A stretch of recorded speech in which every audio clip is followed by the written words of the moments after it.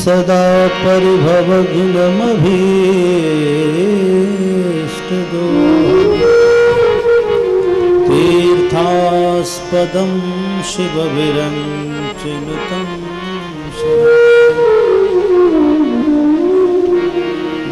भृत्यार्तिहं प्रणतपालभवा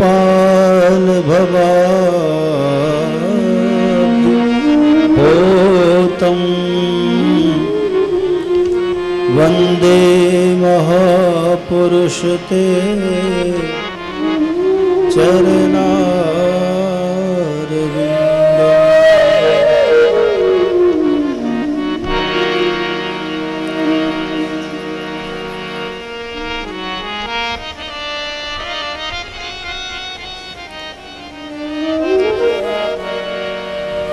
भक्तिभक् भगवन्त गुरु चतुर नाम बपुए।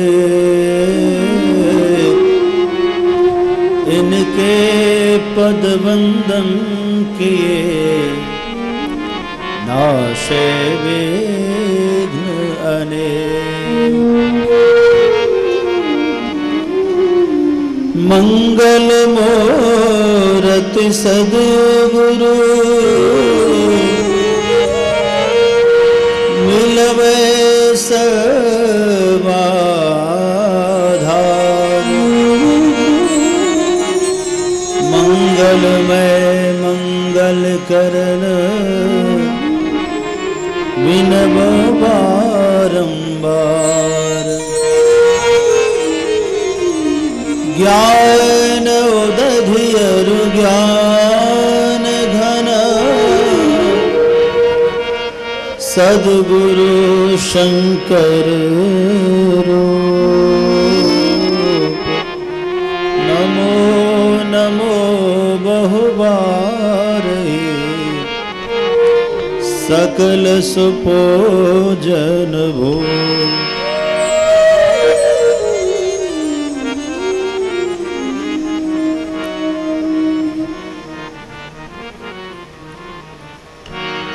परम आनंदमय भगवत स्वरूप श्रीमद् भागवत महापुराण।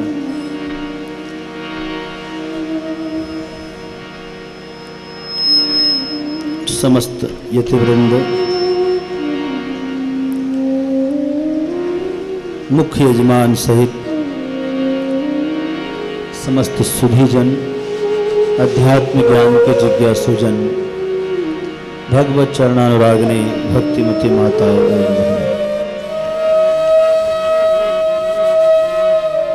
परमात्मा की प्रेरणा से, उनकी कृपा, करुणा से हम सबको श्रीमद् भागवत में अवगाहन करने का अवसर प्राप्त हुआ है। आज इस श्रीमद् भागवत ज्ञान यज्ञ का षष्ठ दिवस है। गंगा जी के पावन तट पर उधर भागीरथी गंगा और इधर भागवती गंगा, उभय में स्नान करके आप कृतकृत्य हो रहे हैं।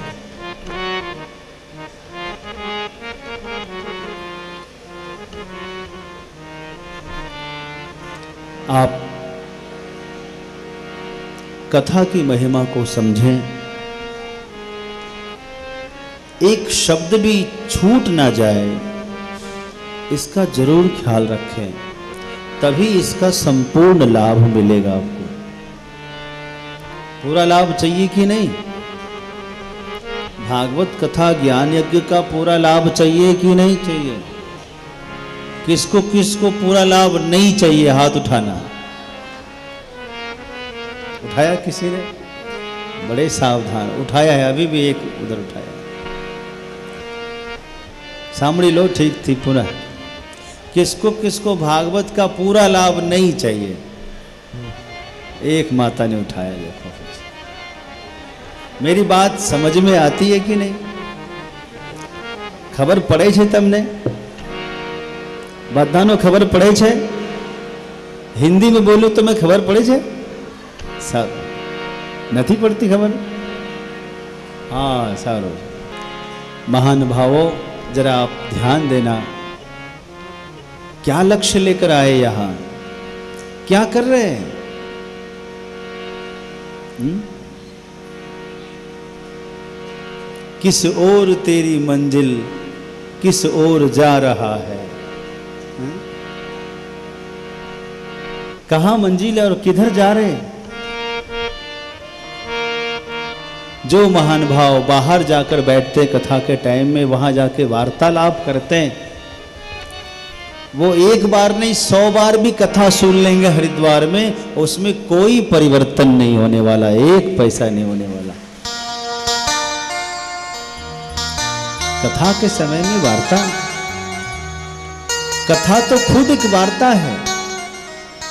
आपकी जो समस्या है, आप यहाँ निसंकोच हाथ उठाकर कह सकते हैं, इसको प्राथमिकी संवादशाला कहते हैं।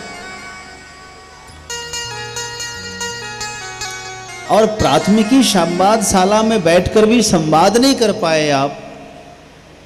या तो आपके मन के प्रश्नों का उत्तर दिया जाता है। आपके मन में कोई पण प्रश्न था ना, तेज प्रश्न भागवत भगवान समझी और तेमने उत्तर दे। भागवत भगवान की ऐसी कृपा है, आपके मन में जिज्ञासा होगी और व्यास पीठ से उत्तर मिलता है।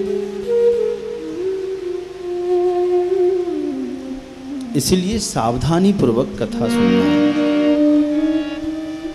कुछ छूटना नहीं चाहिए। ये जो है, इसको यज्ञ कहते हैं। आपने कभी हवन तो किया होगा? किया है ना जीवन में? पंडित जी हवन करवाते हैं। और क्या कहते हैं, हर मंत्र के बाद आहुति ज़रूर देना। एक भी आहुति छूटनी नहीं चाहिए। छूटे तो पूरा फल नहीं मिलता है। उसी तरह से यहाँ एक एक वचन जो निकलता है व्यासपीठ से एक एक वचन एक एक आहुति समान है। एक भी आहुति बाहर न चली जाए, कान के माध्यम से मेरे हृदय में उतरे, इसका ख्याल रहे तो पूरा लाभ मिलेगा।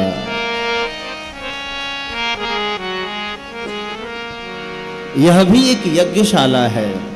इसको यज्ञ मंडप कहते हैं, कथा मंडप को यज्ञ मंडप व्यासपीठ को उसकी वेदी कहते हैं। यज्ञ में क्या होता है? एक यज्ञशाला, उसमें एक वेदी, और उसमें एक ऋत्विज, और एक यजमान भी होता। होता है कि नहीं? तो ये एक मंडप है, व्यासपीठ वेदी है, एक ऋत्विज है, प्रवक्ता, और एक यजमान है, श्रोता।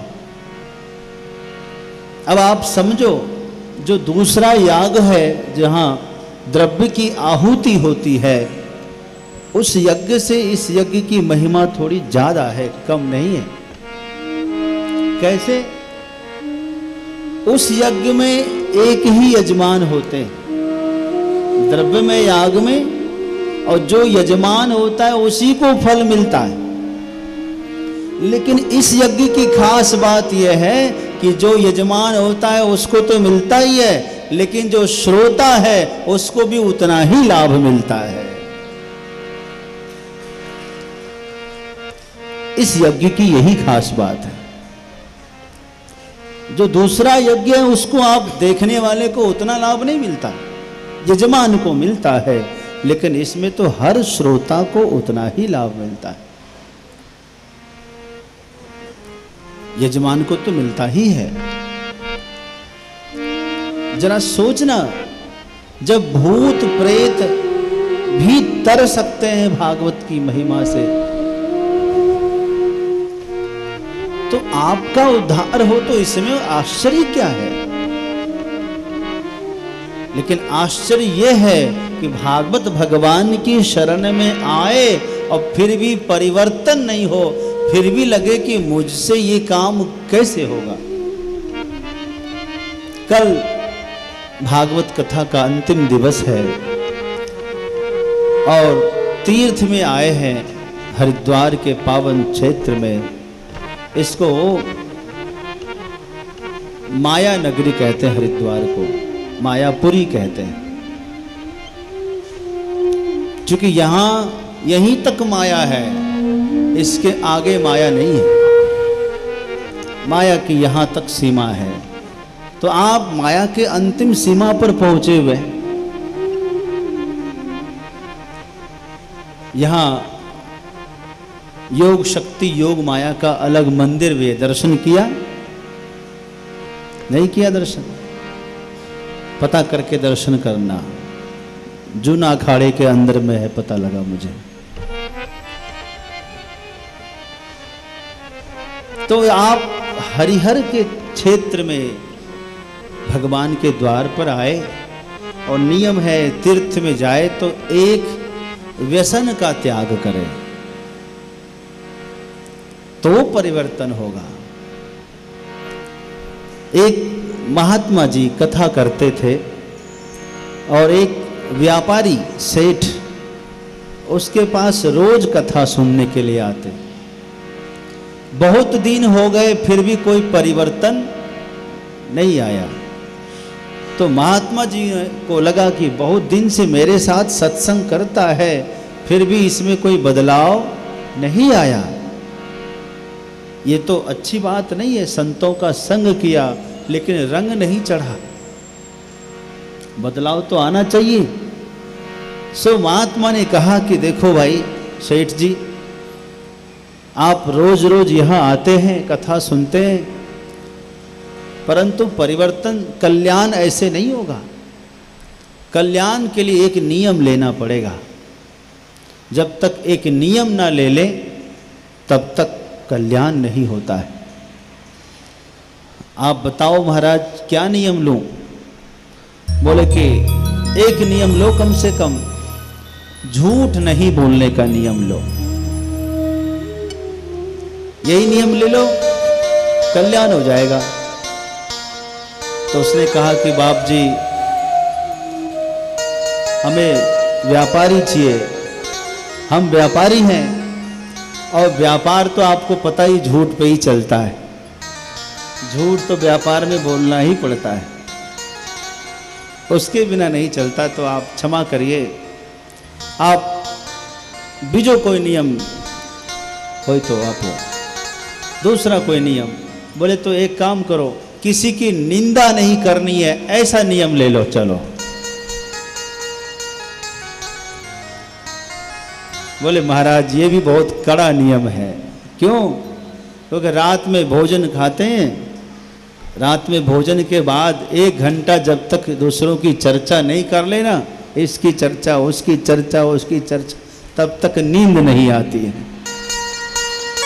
साची बात? इसलिए आपकी ताली बता रही कि सही बात है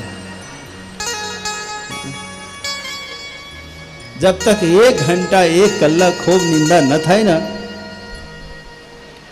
ત્યારે નિંદ હા ત્યાં સુધી મજા આવતી નથી तो महात्मा जी ने कहा तो फिर क्या करोगे तुम अपने मन से बोलो तुम क्या नियम ले सकते हो तो उसने कहा बाप जी एक मुझे कहने में शर्म आती है। बोले, नहीं, कहो कहो। बोले बाप जी हमारे जो दुकान है, गल्ला है ना, हमारे दुकान के ठीक सामने में एक कुम्हार का, कुम्हार समझते हो? बर्तन बनाने वाले प्रजापति। उनकी दुकान है। उनके बर्तनों की दुकान है। तो मैं नियम लेता हूँ कि सवेरे उठ के पहले उनका मुख देख लूँगा फिर कुछ ग्रहण करूँगा, पानी पीऊँगा, उसके पहले नहीं पीऊँगा। महात्मा ने कहा, देखो, चलो, कोई बात नहीं, तुमने नियम तो लिया, लेकिन इस नियम को निभाना, याद रखना, उसके मोहड़ा देखे बगैर पानी या अन्न कुछ लेना नहीं। बोले हाँ महाराज ये तो हो जाएगा, क्योंकि दिन भर तो हम लोग साथ में रहते हैं अब तो उसका नियम हो गया, सो के जगता दरवाज़ा और शटर उठाता, पहले उसका मुँह देखता, फिर पानी पीता, नाश्ता करता, चाय कुछ भी करता। काफ़ी दिन तक ये नियम चलता रहा। एक दिन सवेरे, आज सेठ जी को थोड़ा, थोड़ी देर हो गई। उठने में नींद थोड़ी देर से लगी थी तो दरवाज़ा खोला, देखा तो वो नहीं है। दुकान में। दौड़ के गया, पूछा, कौन है? तो उसकी पत्नी थी। बोले, ए, सेठ जी, क्या क्या क्या देख रहे हो? उधर क्या देख रहे हो? बोले, अरे, वो कहाँ है? भाई कहाँ है? बोले, वो तो खेत खेत में चले गया। खेत में चले गए, ज़मीन में, उधर। किस लिए? मिट्टी काटने के लिए। आज मिट्टी लेने के लिए वह। निकल पड़ा खेत में। किधर गया? बोले, इधर गया है। तो दौड़ा दौड़ा सेठ उसके पीछे पीछे उधर ही गए। उधर वो मिट्टी खोद रहे थे। और आज भगवान की कैसी कृपा हुई। मिट्टी खोदते वक्त उनको सोने के सिक्के से भरा हुआ घड़ा मिला। घड़ा समझते हो ना? जिसमें कलश में सोने का कलश, उसमें सोने का सिक्का भरा हुआ कलश मिला। वो तो बहुत खुश था, विचार कर रहा था, इतना एटलो બધો सोनो आयो क्या थी? विचार कर रहा था। तभी वो पीछे से आ रहा था, खोजता खोजता। उसने देखा, कहा देख लिया देख लिया जो ही ली लो। और फिर वो देख करके लौट गया।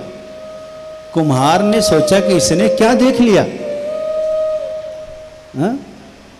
उसने सोचा कि लगता है इसको मालूम पड़ गया कि यहाँ सोने का सिक्का मिला है। अब तो जाको जा करके सरकार को खबर कर देंगे, पुलिस को रिपोर्ट कर देंगे तो ये सब चला जाएगा हाथ से। जल्दी जल्दी कुम्हार घर आया। आ करके आधा हिस्सा करके एक पोटली में बाँध करके सीधा सेठ जी के घर के भीतर जाके आँगन में रख ही दिया। वापस आका सेठ जी, तुम्हारा हिस्सा रख दिया है, अब किसी से कहना नहीं। बोले, कैसा हिस्सा, कौन सा हिस्सा, मुझे नहीं पता। बोले, पता चल जाएगा, जाके देख लो भीतर में। कुम्हार तो चला गया, सेठ भीतर गया और जाके जब खोला, देखा, सोने, सोना सोना, सोने का सिक्का भरपूर, वो तो गदगद हो गया। उसने सोचा कि देखो, आज महात्मा का आशीर्वाद फलीभूत हो गया मेरे जीवन में। बाप जी ने कहा था कि एक नियम लो, बच्चा तुम्हारा कल्याण होगा। लेकिन मैं भी कितना अभागा। कुम्हार का मुँह देखने का संकल्प लिया था। काश में भगवान के दर्शन का यदि संकल्प लेता तो आज भगवान मिल गए होते। क्या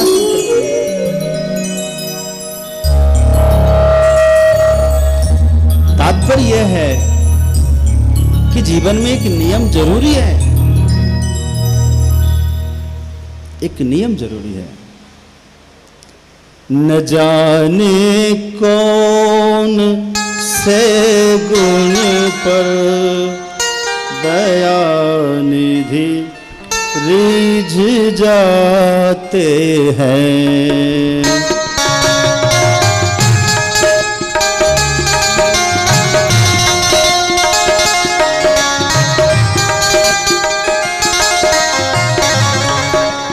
जाने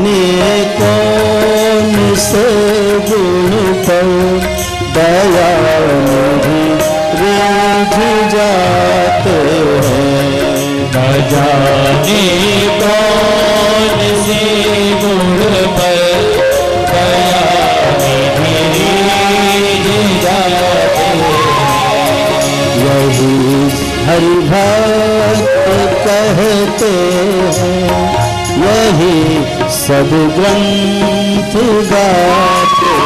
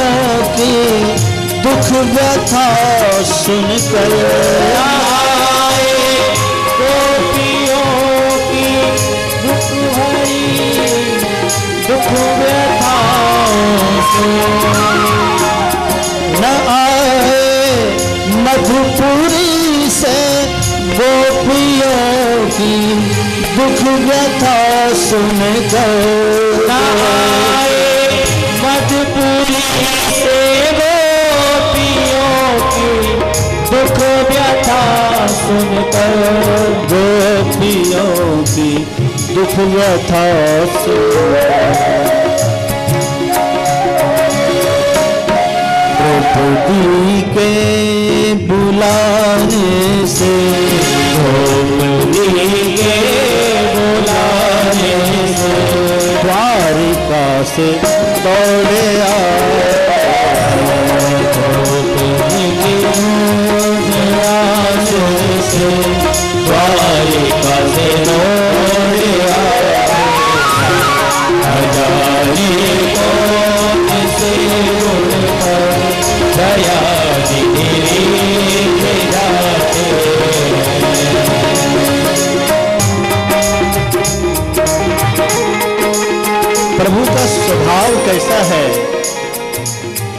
अद्भुत स्वभाव है भगवान का।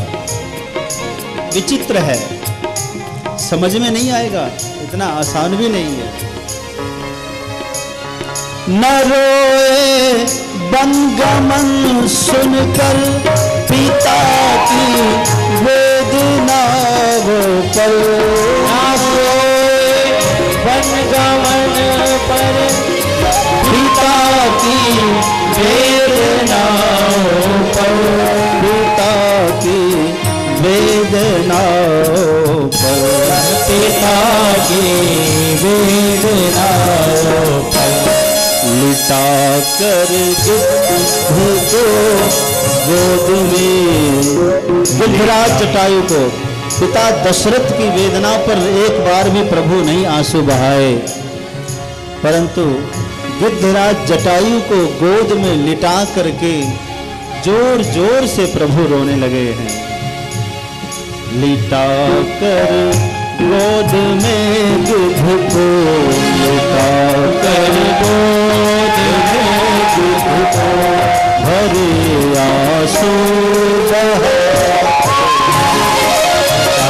कर गोद में गिद्ध को, प्रभु आँसू बहावे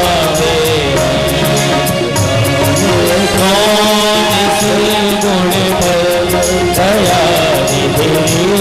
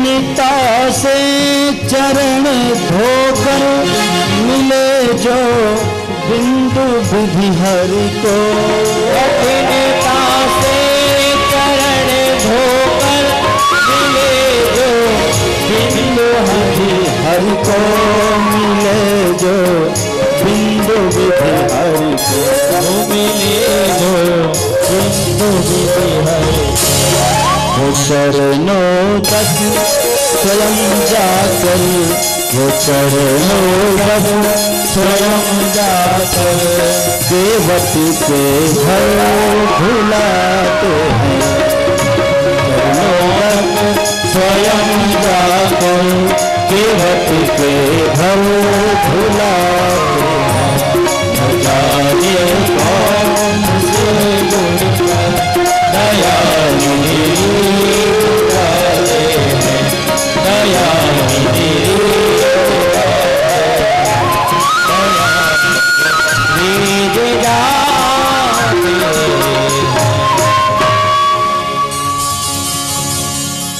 वत्सल भगवान की। तदात्मन पूजा विज्ञाय विहतां गोपेभ्यः कृष्णनाथेभ्यः। नन्दादिभ्यश्चुकोपसः गणं सावर्तकं नाम मेघानां चान्तुकारिणाम्। इन्द्रः प्राचोदयत् कृच्छ्रो इन्द्रः प्राचोदयत् क्रुद्धो वाक्यं चाहे शमायत इंद्र को जब ज्ञात हुआ, विदित हुआ कि ब्रज में मेरी पूजा नहीं हो रही है तो उनको बड़ा क्रोध आया कि इस धरा पर मुझे नजरअंदाज करने वाला कौन है भला? कौन सी शक्ति है? कौन है जो मुझे लुक ओवर कर रहा है? नजरअंदाज कर रहा है? मेरी अवहेलना कर रहा है, आज मेरी पूजा नहीं होने दे रहा। जाओ, पता लगाओ। दूतों को भेजा, पता लगाया। बोले, वहाँ है नंद राय के घर में दो। उनका नाम है कृष्ण और बल, बलराम। दो बालक। इतनी हिम्मत नंद राय की। जाओ, प्रलयंकारी। सांबर्तक नामक मेघ को आदेश दिया है कि जाओ, इतनी वर्षा करो, इतनी वर्षा कर लो कि महाप्रलय आ जाए। मेरे अभिमान का फल उनको मिलना चाहिए, उन्हें एहसास हो, उन्होंने किसके साथ दुरावग्रह किया है। जाओ, फिर क्या था? आकाश में बादल गरजने लगा, घूमने लगा चारों तरफ़ घुमड़ने लगा। देखते ही देखते घटा छा गई और सारे ग्वाल बाल डर गए। गोप गोपियाँ डर गई। अब क्या होगा? हम लोग पहले से डरे हुए थे कि कहीं इंद्र हमारा अनर्थ ना कर दे। इंद्र तो किसी को छोड़ता नहीं है भाई। गलत हो गया। अब क्या करें? सब नंद राय के पास आए, महाराज, आप तो बताओ अब क्या करें? नंद राय ने कहा कि कन्हैया के पास चलो।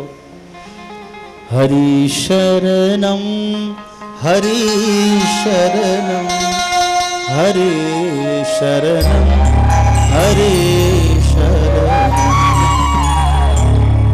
हरि शरणम, हरे शरणम, हरि शरणम, हरि शरणम सब श्री कृष्ण के शरण में पधारे। कन्हैया ने कहा, डरो मत। जिस भगवान की हम पूजा करते, वो भगवान हमारी रक्षा नहीं करेंगे। विश्वास रखो तो सही। प्रभु ने प्रणाम किया, गिरिराज गोवर्धन को कि प्रभु, तुम्हारी शरण में, आपके शरण में हम सब आए। इन सब की रक्षा करिए। और आज आप हल्के हो जाइए।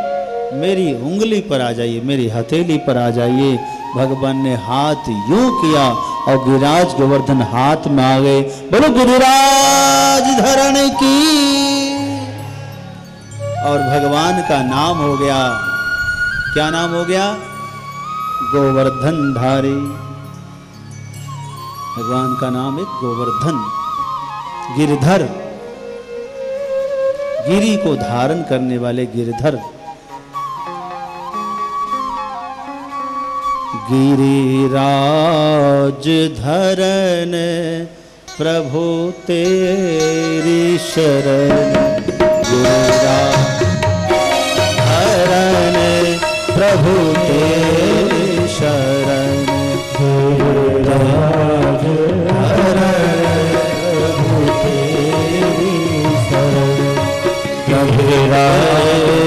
शरण हम तेरी शरण हम तेरी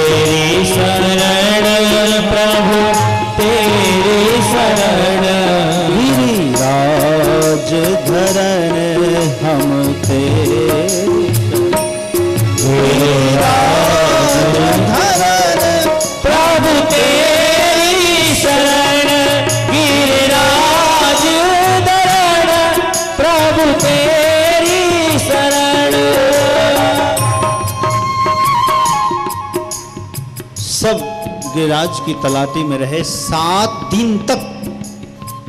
अखंड वर्षा चली, सात दिन तक। लेकिन इसके बाद भी किसी का कुछ बिगड़ा नहीं।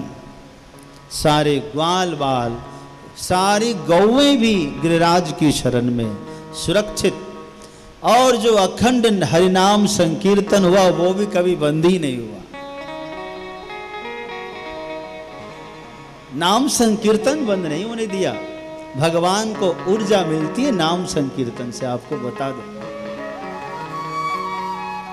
हम लोगों को ऊर्जा मिलती हुई खाने से, भोजन से ऊर्जा मिलती है, लेकिन प्रभु को इससे ऊर्जा नहीं मिलती भगवान को भगवान के नाम से ऊर्जा मिलती है। भगवान नाम में बताया ना, इतनी शक्ति है कि वो भगवान की भी रक्षा कर सके। हमारी तो करती ही है। इसलिए नाम संकीर्तन खूब जोरदार चला।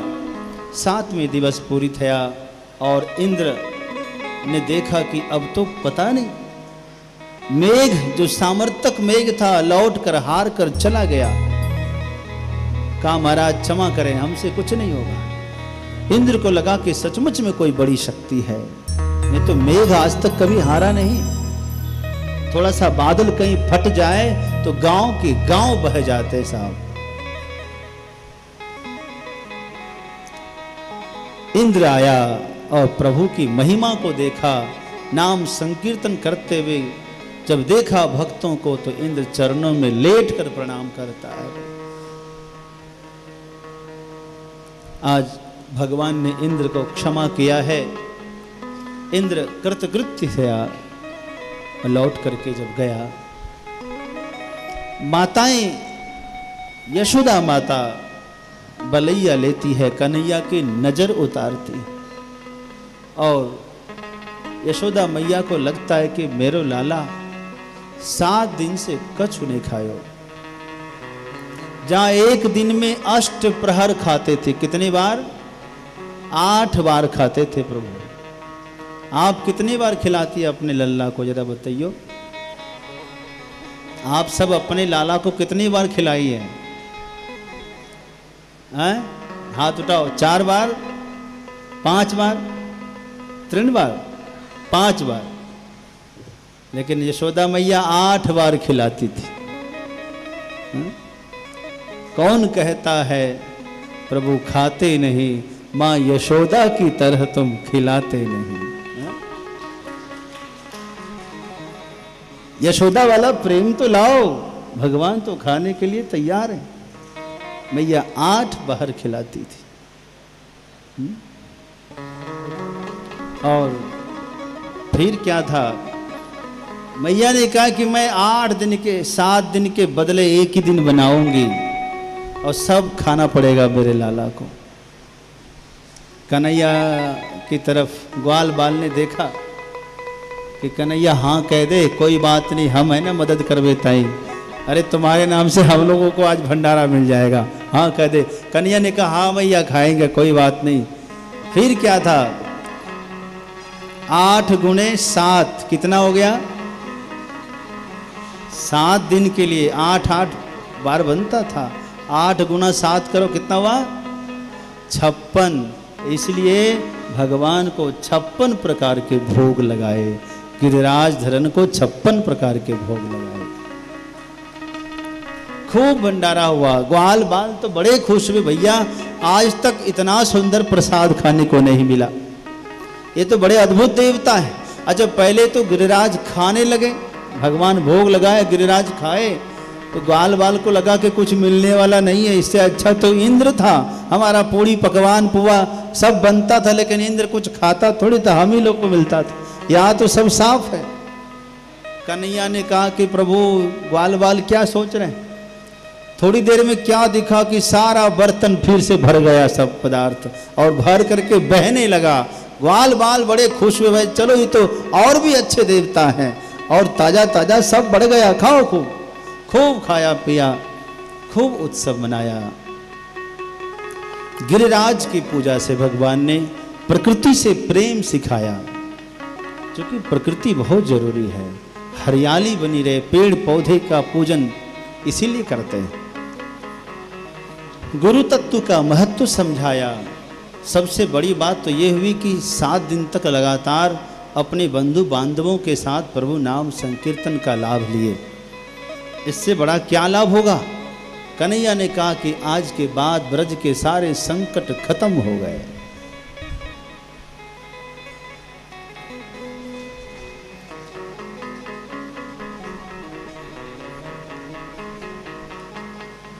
कन्हैया, ब्रज में वेणुनाद करते हैं, सबका मन मोह लेते हैं। और उस वेणुनाद को सुनकर, ब्रह्मनाद को सुन करके गोपियाँ यत्र तत्र से उमड़ उमड़ कर कन्हैया के पास खिंच खिंच चले आती है।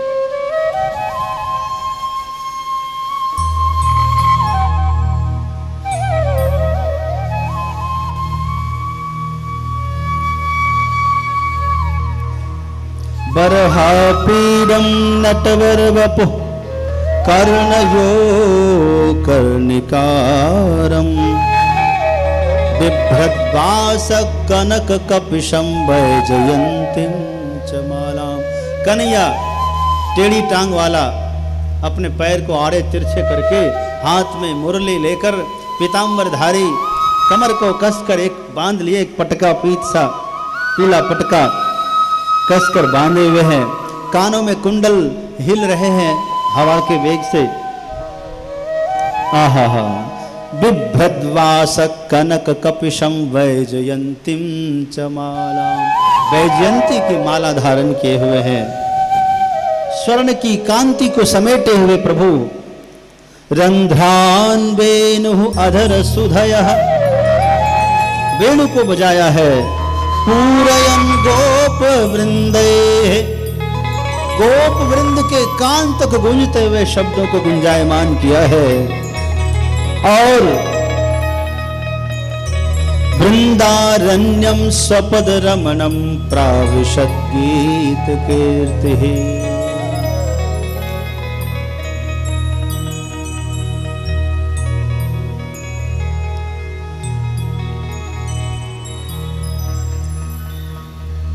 बांसुरी की धुन सुन हुई बाबरी, सब बाबरी हो गई। और सबको छोड़ छाड़ कर सकिया कन्हैया के आगे पीछे। गोपियाँ कहती है, अक्षण अक्षणवताम फलमिदम न परम विदाम। सख्य पशो ननु विवेशयतोर वयस्ये वक्तं ब्रजेश सुतयोरनुवेनुजुष्टं यैर्वाणि पीतमनुरक्तकटाक्षमोक्षम्। लाला, एक बात बताऊँ। दुनिया में भगवान ने आँख जो दिया हम लोगों को, गोपियाँ कह रही है, लाला से लाला। हम लोगों को जो आँख दिया है ना, ब्रह्मा ने, आज लगता है आँख नयन हम लोगों का सार्थक हो गया। इससे बड़ा कोई फल नहीं होगा। क्या फल है? तुम्हारी झांकी का, ये दृश्य का दर्शन कर ले। तुम्हारे इस स्वरूप का दर्शन हो जाए, यही नयनाभिराम है, नयनों का फल है।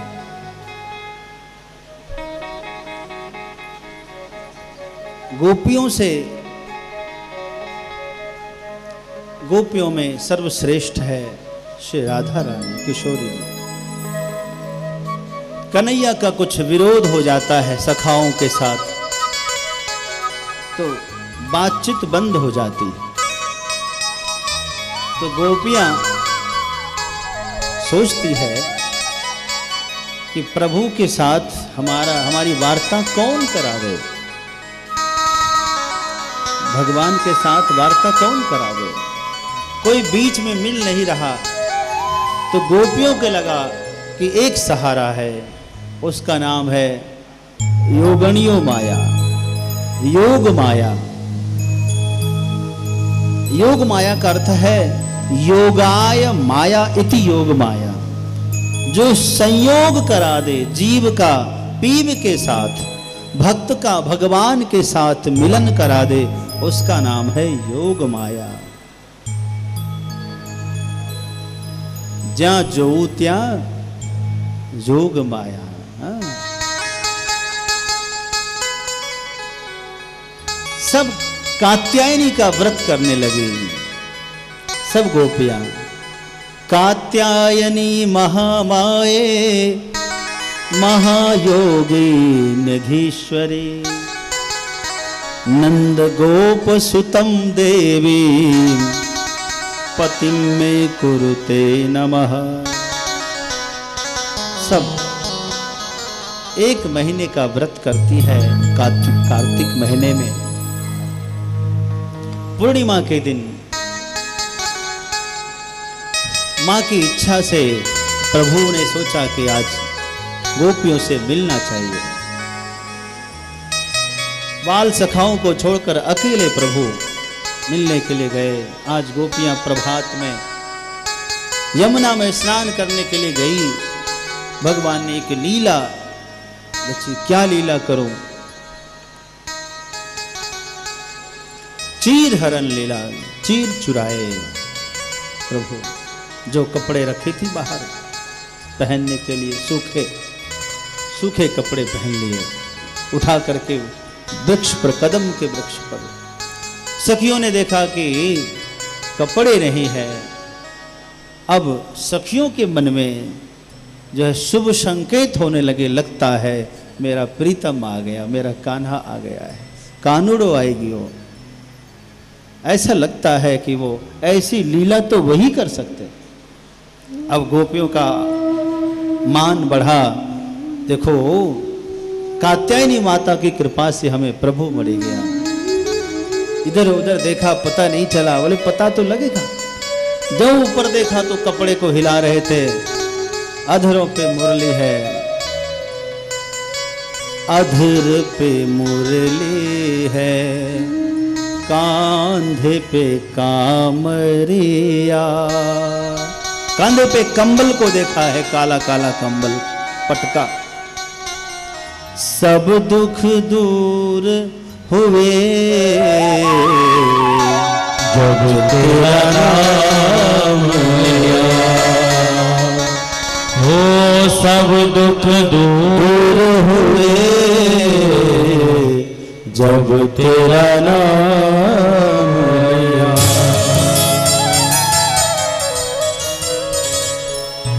ओ ब्रज के नंद लाला, श्री राधा जू के सावरिया सब दुख दूर हुए, जब तेरा नाम लिया, जब तेरा नाम मीरा पुकार तुम्हें। गिरधर गोपाला। मीरा पुकार तुम्हें। गिरधर गोपाला। बन गया अमृत में विष का भरा प्याला। हो बन गया अमृत में।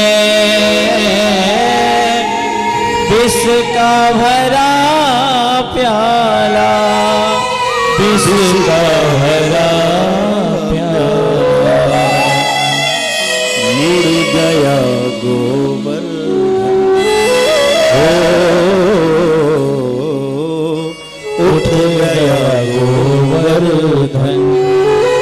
जिसे तूने थाम लिया।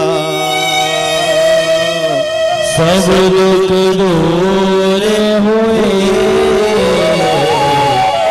जब तेरा नाम लिया।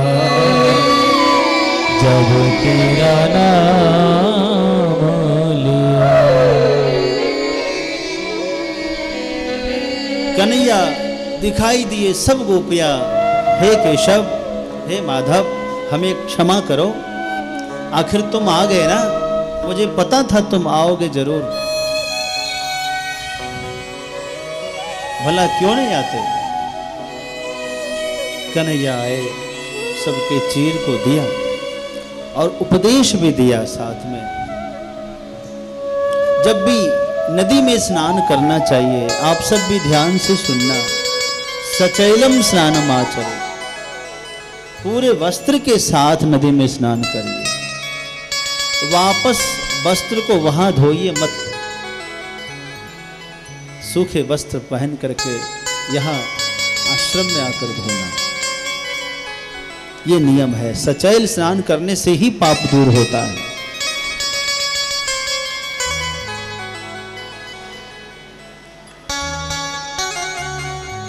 पता लगा कि वस्त्र खोल करके स्नान किया, फिर वापस वही वस्त्र पहना। ऐसा कभी नहीं करना। उसके बाद एक दिन राधा रानी से कन्हैया ने कहा कि हम महाराज करना चाहते हैं। जो महाराज हमने चित्रकूट में किया था। श्री रामावतार में प्रभु किशोरी जी के साथ में नौ सौ निन्यानवे महाराज किए।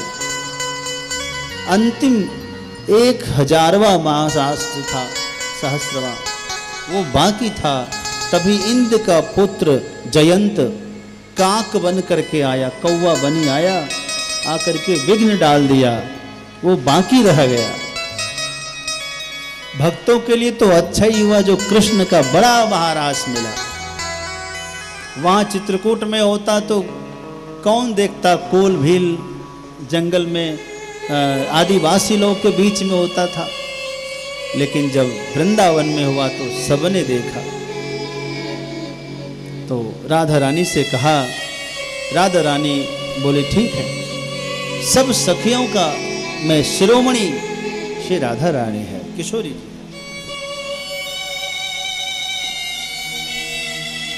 एक दिन एकादशी में निराहार रहकर नंद राय व्रत करते हैं एकादशी का। एकादश्याम निराहार समभ्यर्च जनार्दनम, स्नातुम नंदस्तु कालिंद्याम द्वादश्याम जलमाविशत। अर्ध, अर्धरात्रि के बाद कालिंदी यमुना जी में स्नान करने के लिए गए नंद राय लेकिन समय का ध्यान नहीं रहा। अभी ब्रह्म मुहूर्त नहीं आया था। मध्य रात्रि में ही स्नान करने चले गए यमुना में। तो नंद राय को नाग ने पकड़ लिया। वरुण देव के दूत हैं जो नाग। और पकड़ करके, बाँध करके नागलोक में ले गए। किसी को पता नहीं। भगवान ने देखा कि नंद बाबा नहीं है। ध्यान धरकर जब देखा कि भव पिताश्री को बाबा को तो ले गए हैं, तब भगवान यमुना में प्रवेश करके नागलोक गए। वहाँ वरुण देवता बैठे उनके सामने में। नाग देवता ने उनको गिरफ़्तार करके रखा था। लेकिन जब कन्हैया पहुँचे तो सबने इनका अभिनंदन किया। सबने कन्हैया को प्रणाम किया। नाग देवताओं ने प्रणाम किया। वरुण देव ने प्रणाम किया। कहा, प्रभु, आप यहाँ कैसे? भगवान ने कहा कि, मेरे पिताश्री को आप बाँध कर लाए। अच्छा आपके पिताश्री हैं। क्षमा करना। परंतु एक नियम है कि मध्य रात्रि में नदी में स्नान नहीं करना चाहिए। पौने तीन, ढाई बजे के बाद ही पौने तीन तीन के बाद में स्नान करना चाहिए। ब्रह्म मुहूर्त आता है तब। भगवान के कहने पर नंद राय को वहाँ से छुड़ाकर प्रभु लाए। नंद राय ने ये चमत्कार देखा। तब अपने लाला के विषय में नंद राय को बड़ी भक्ति जगी। ये तो साक्षात भगवान है, हरि है, नारायण है। हम लोग इसे क्या समझते रहते हैं? भगवान ने यज्ञ पत्नियों पर कृपा किया और आखिरकार महाराष्ट्र के लिए जब वो शरद की पूर्णिमा की रात्रि आई है तो उस समय में भगवान ने देखा क्या देखा भगवान पिता रात्रि शरदोत्फुल्ल मल्लिका वीक्षरंतुम मनश्चक्रे। योग माया मुपाश्रित आज शरद पूर्णिमा की पूर्ण रात्रि की चंद्रमा को जब देखा है तो भगवान के मन में लगा कि आज ही वो सही मौका इसलिए आज ही महाराज होना चाहिए। कैसे लोगों को पता चले? एक सहारा है बांसुरी का। आज बांसुरी से कहियो भगवान ने कि बांसुरी, आज ये हम जो तुम में शब्द दे रहे हैं ना, ये सबके पास नहीं जाना चाहिए। जो इस महाराष्ट्र के अधिकारी हैं, केवल उनको ही सुनना दे, सुनाना।